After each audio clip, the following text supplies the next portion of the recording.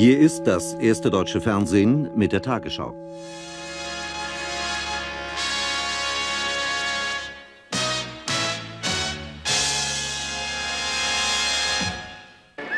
Vier Stunden vor der deutschen Einheit.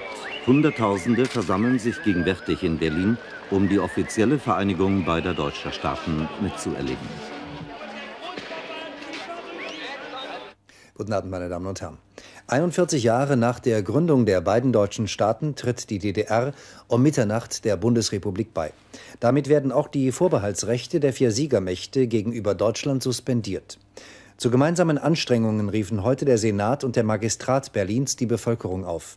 In einer Erklärung der beiden Stadtregierungen heißt es, Berlin stehe zum zweiten Mal nach dem Krieg vor einer großen Aufbauarbeit. Soziale, wirtschaftliche und ökologische Probleme müssten bewältigt werden. Berlin werde alles tun, um ein würdiger Sitz von Parlament und Regierung Deutschlands zu sein. Feierlich wurden heute die Berliner Stadtkommandanten der drei westlichen Alliierten verabschiedet. Eine Ära ist zu Ende. Mit diesem Schlag schloss der britische Stadtkommandant Corbett die letzte Sitzung der alliierten Kommandantur. 1945 hatte diese alliierte Befehlsstelle ihre Arbeit aufgenommen. Heute nun wurden die Flaggen eingeholt und in einem letzten Brief von den drei Stadtkommandanten an den regierenden Bürgermeister heißt es, die Stadtkommandanten sehen ihre Arbeit als erfüllt an. Die gemeinschaftlichen Bestrebungen hätten zum Erfolg geführt. Berlin gilt nunmehr als Symbol dessen, was durch eine feste Haltung beim friedlichen Streben nach demokratischen Rechten erreicht werden kann. Für ihre Verdienste um Berlin erhielten die drei Stadtkommandanten Auszeichnungen. Das Beste, was die Stadt zu vergeben hat, die Ernst-Reuter-Plakette und den Landesverdienstorden. Während einer Feierstunde im Rathaus Schöneberg, bei der sich die drei Generäle ins Goldene Buch der Stadt eintrugen, dankten Abgeordnetenhaus und Senat den Alliierten für Schutz und Solidarität. Wir scheiden heute mit einem lachenden und mit einem weinenden Auge. Wir sind glücklich, dass die längste Besatzungszeit im modernen Völkerrecht so friedlich abgeschlossen werden konnte. Wir sind glücklich, dass die tragische Zeit der Teilung Deutschlands und Berlins nun ein Ende findet und damit auch die Teilung Europas. Die Blicke richten sich nun vorwärts, zunächst bis zur mitternächtlichen Feierstunde. Rund um das Reichstagsgebäude haben sich dafür Fernsehstationen aus aller Welt aufgebaut. Um 0 Uhr wird an dieser Stelle die deutsche Flagge gehisst. Letzte Vorbereitungen auch im Reichstagsgebäude. Zum ersten Mal wird hier am Donnerstag das neue deutsche Parlament zusammensitzen. Und die meisten Abgeordneten flogen heute schon von Bonn nach Berlin. Und zwar mit der Lufthansa. Auch das ein Novum. Zum ersten Mal seit 1945 durfte wieder ein deutsches Flugzeug in Berlin landen. Im Vorfeld der Feiern zur deutschen Einheit sind in der vergangenen Nacht in Berlin drei Brandanschläge verübt worden. Wenige Stunden vor Mitternacht zündeten Brandsätze sowohl im Zentrum Kaufhaus in Ostberlin als auch im Westberliner Kaufhaus des Westens. Beide Feuer konnten schnell gelöscht werden, richteten aber Millionenschäden an. Kurz darauf wurde ein weiterer Brandsatz in den Kassenraum einer Bank im Westberliner Stadtteil Kreuzberg geworfen. Im Zusammenhang mit dieser Tat nahm die Polizei zwei Personen vorläufig fest. Mit einer Festsitzung in Ostberlin hat sich heute das erste frei gewählte Parlament der DDR von der Bevölkerung verabschiedet. Volkskammerpräsidentin Bergmann-Pohl forderte die neuen Bundesbürger auf, ihre neu gewonnene Freiheit zu nutzen. Sie waren die ersten frei gewählten Abgeordneten der DDR und die letzten. 181 Tage hatte die Volkskammer Zeit, um vor allem eine Aufgabe zu bewältigen, sich überflüssig zu machen, sich geordnet aufzulösen, sich einzubringen in ein gesamtdeutsches Parlament. Zur abschließenden Feierstunde mit bundesdeutschen Gästen musste das Hohe Haus erneut umziehen, wieder auf der Flucht vor Asbest. So tagte man im Staatsratsgebäude einst, der Amtssitz von Erich Honecker. Sprecher aller Fraktionen würdigten die Arbeit des Parlaments. Fleißig sei es gewesen, wenn auch gelegentlich chaotisch und amateurhaft. Insgesamt, da waren sich alle einig, habe man demokratische Verhaltensweisen gelernt und geübt. Aber auch das zog sich durch alle Reden. Die Last der Vergangenheit wird die ehemaligen DDR-Bürger noch lange beschweren. Bewältigung, nicht Verdrängung, tue Not. Morgen wird die staatliche Einheit vollendet. Mit der Einheit in unseren Köpfen und Herzen stehen wir jedoch noch am Anfang unseres Vereinigungsprozesses. Viel Geduld und Einfühlungsvermögen auf beiden Seiten werden notwendig sein, damit keine Seite Schaden nimmt. Die Geschichte der Volkskammer ging so zu Ende wie die aller Institutionen der DDR. Der Abschied war kurz, ohne Tränen und Wehmut. Die Freude überwog, dass nun alles vorüber ist. Am besten fasste es vielleicht der FDP-Fraktionschef zusammen. Heute Abend reist die gesamte DDR aus, aber die Koffer bleiben zu Hause. Die NVA, die Nationale Volksarmee der DDR, hat sich heute aufgelöst. Sie wird um Mitternacht formell der Bundeswehr unterstellt. Mit dem 2. Oktober, 24 Uhr, hört nach dem Willen unseres Volkes die Deutsche Demokratische Republik auf zu bestehen. Hiermit entlasse ich Sie als Angehörige oder Zivilbeschäftigte der Nationalen Volksarmee aus ihren Verpflichtungen. Fahne senken. Fahnenkommando, Truppenfahne verpacken. Das schwarz-rot-goldene Tuch mit Hammer und Zirkel im Ehrenkranz verschwindet, wohl für alle Zeiten. Hier beim ersten motorisierten Schützenregiment wie bei allen anderen Truppenteilen. Heute um Mitternacht übernimmt das Bundeswehrkommando Ost. Die NVA habe ihren Beitrag dazu geleistet, dass der Umgestaltungsprozess friedlich verlaufen sei, heißt es im letzten Tagesbefehl des Ministers.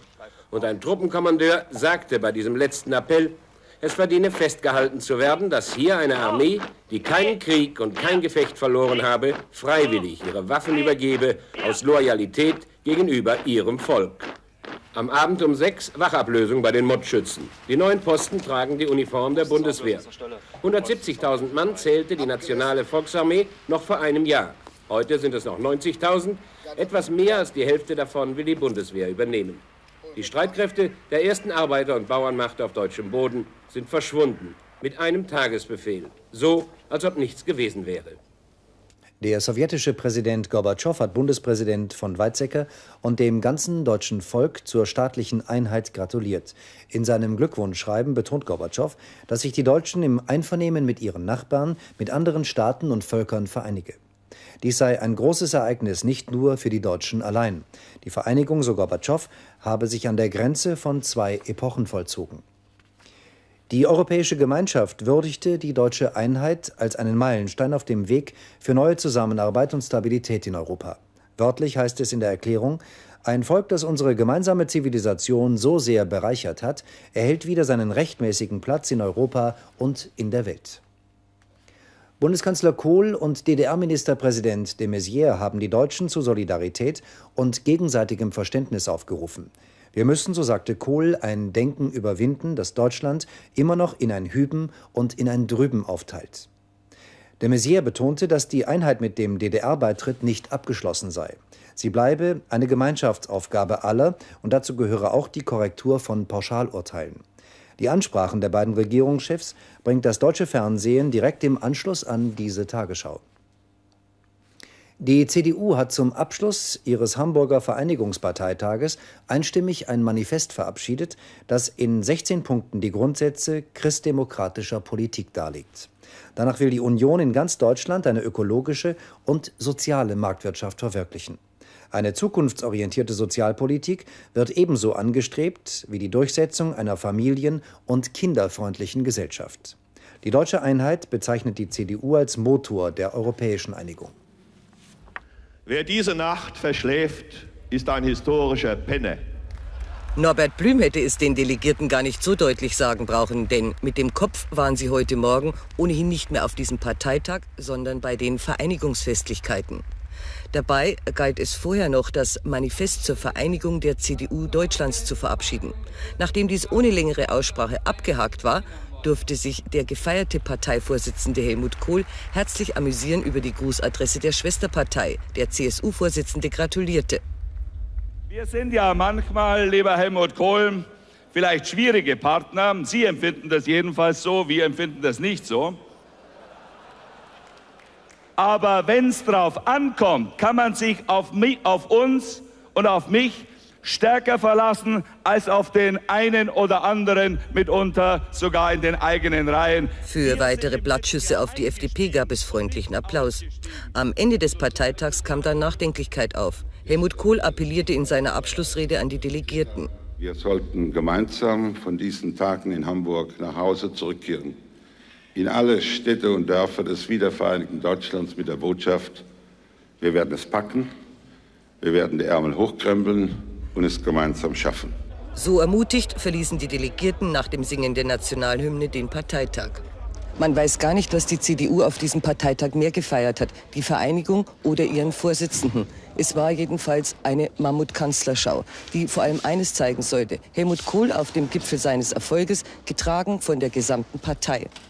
Die Regie zielte entschlossen auf Harmonie ab. Diskussionen fanden nicht statt. Und tatsächlich ging das Konzept auf. Die Inszenierung lief bis zum Schluss perfekt über die Bühne. Mit einer Überraschung endeten die Wahlen zu dem erweiterten Bundesvorstand der Vereinigten CDU. Die stellvertretenden Fraktionsvorsitzende Verhülstonk und die stellvertretende Vorsitzende der Frauenunion Fischer verpassten ebenso wie der Vorsitzende der Mittelstandsvereinigung Pirot den Einzug in das Führungsgremium. Dagegen kam der Chef der Sozialausschüsse Fink in den Bundesvorstand und auch alle sechs Kandidaten aus der DDR wurden auf Anhieb in die Parteiführung berufen. Bei der Eröffnung der Frankfurter Buchmesse hat Bundeswirtschaftsminister Hausmann zu weltweitem Austausch und zu einem, wie er sagte, Wettbewerb der Köpfe aufgerufen. Internationale Verflechtung und wirtschaftliche Konkurrenz seien sichere Bollwerke gegen nationale Machtballung. Auch Japan, das Partnerland der Buchmesse in diesem Jahr, habe dies nach dem Zweiten Weltkrieg gelernt. Die Einheit Deutschlands, fügte der Wirtschaftsminister hinzu, werde der Einheit Europas und der Welt zugutekommen. Auf der diesjährigen Messe, dem größten Buchmarkt der Welt, ist die DDR mit 91 Ausstellern vertreten. Messedirektor Weithas nannte Hilfe bei der Neuorientierung Osteuropas als die entscheidende Aufgabe der Verleger. Annähernd 8500 Verlage aus 90 Ländern präsentieren eine Bücherflut von mehr als 380.000 Titeln. Schwerpunktthema in diesem Jahr Japan. Für das Publikum ist die Buchmesse von Freitag bis Samstag geöffnet.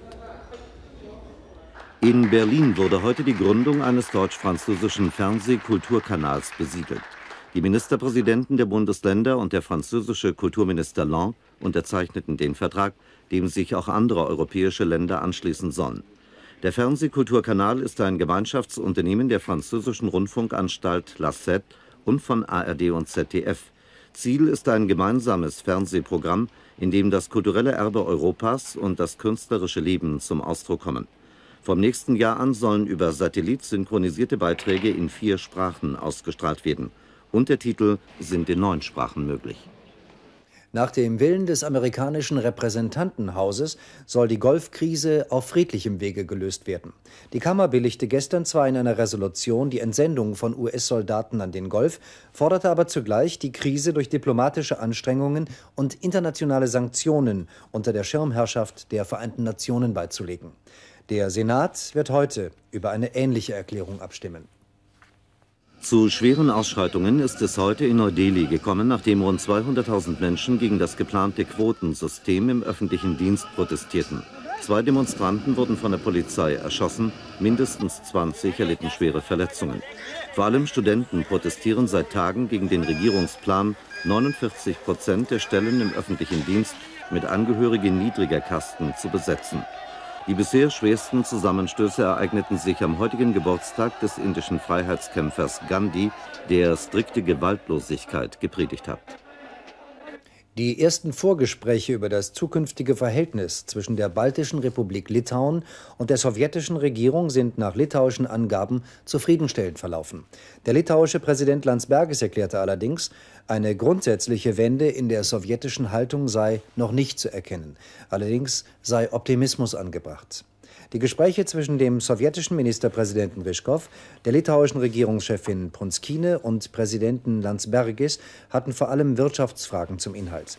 Moskau hatte nach der einseitigen Unabhängigkeitserklärung Litauens eine Wirtschaftsblockade über das Land verhängt, diese jedoch wieder aufgehoben, als Litauen sich bereit erklärte, die Erklärung vorübergehend auszusetzen. Bei der Explosion einer entführten chinesischen Verkehrsmaschine auf dem Flughafen von Kanton sind heute mindestens 120 Menschen ums Leben gekommen.